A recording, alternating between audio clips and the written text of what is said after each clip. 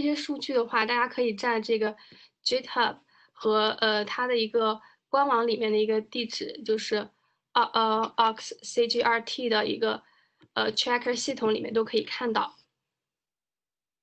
嗯，然后它的数据就是它 data 是从呃我们公共的呃一些数据来源，像文章或者政府里面发表的一些呃数据或者新闻上提取出来的。呃，然后底下的话，我用那个呃从它导入的一些呃数据，从从里面截了一部分的图。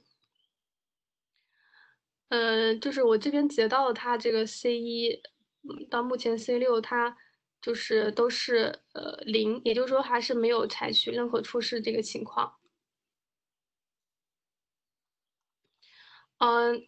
那刚刚介绍了，就是说它 C 一到呃 C 一到 C 八，然后 E 一到 E 四，然后 H 一到 H 五的这个一些基本情况，嗯，大家就可以看见它的这个指标，嗯，大多数都是按照那个 Ordinal 的这个顺序。去呃去进行量化的，嗯，就是呃它的这个 Ordinal 那分为有呃分为不同的分数去反映它呃这个防控的呃严峻程度。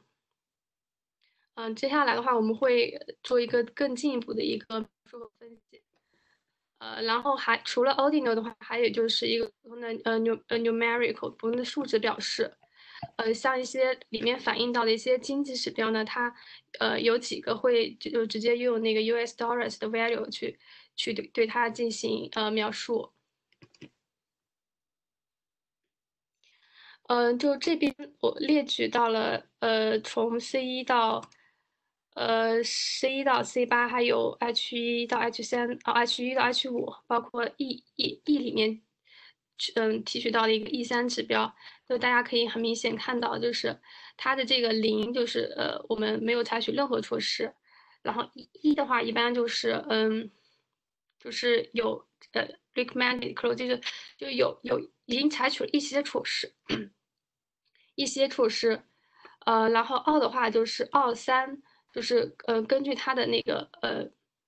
采取。呃，在在这个呃相关的这个领域，第一个一的话应该是 school closing，在相关领域采取呃防控措施的这个等级跟程度进行划分。嗯，这这这边一从 E 一到 H 三的话，就是呃这个 ordinal，然后 H 四、H 五和 E 三的话，